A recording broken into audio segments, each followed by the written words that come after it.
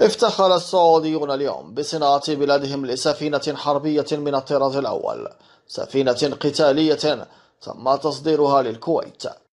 والسفينتين هما السيف 30 والجليعة 40 وهما سفينتين متقدمتين للغاية بتقنية عالية وتقنية من الطراز العالمي. وكانت الشركة كانت قد دخلت في منافسة عالمية طرحها حرس الحدود الكويتي للفوز ببناء أربع سفن وشاركت ترسانة عالمية في هذه المنافسة من الولايات المتحدة والصين واليابان وأوروبا ولكن فازت بها السعودية وتمكنت من صناعتها وتصديرها للكويت.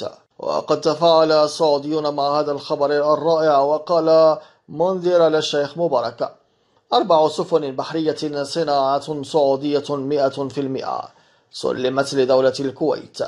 عندما نقول صناعة سعودية لا يستطيع أحد أن يبحث ويكتشف أن شيئا منها صنع في الخارج. الحمد لله من قبل ومن بعد.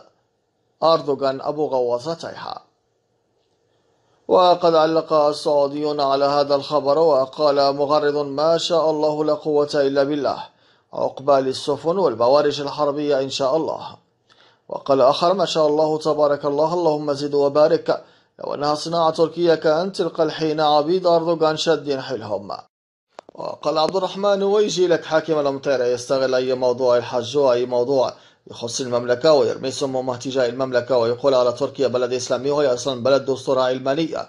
تابع أتاتورك كان ضد الإسلام وكمان تركيا ورقة تستخدمها أمريكا في صراعاتها في روسيا. فيما قال مفلح الحمد لله الصناعة السعودية في الأسواق لدينا اكتسحت الصناعات المستوردة. ولله الحمد لجودتها خصوصا الكهربائية والسباكة ومواد البناء والديكور. وقال عربي شرق أوسطي هذه هي وطني السعودية وتلك مصانع وطنية بحتة. رجالها سعوديون الأصل والجذور نفتخر بالصناعات الوطنية الأساسية في بناء منظومة دفاعية تحت شعار صنع بالسعودية وشركة الزامل من الشركات الوطنية الرائدة في المجال البحري منذ أكثر من سبعين سنة.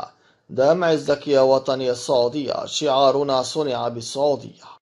وقال المغرد المصري شيء كويس ومحترم لكنها سفن دورية لخفر السواحل.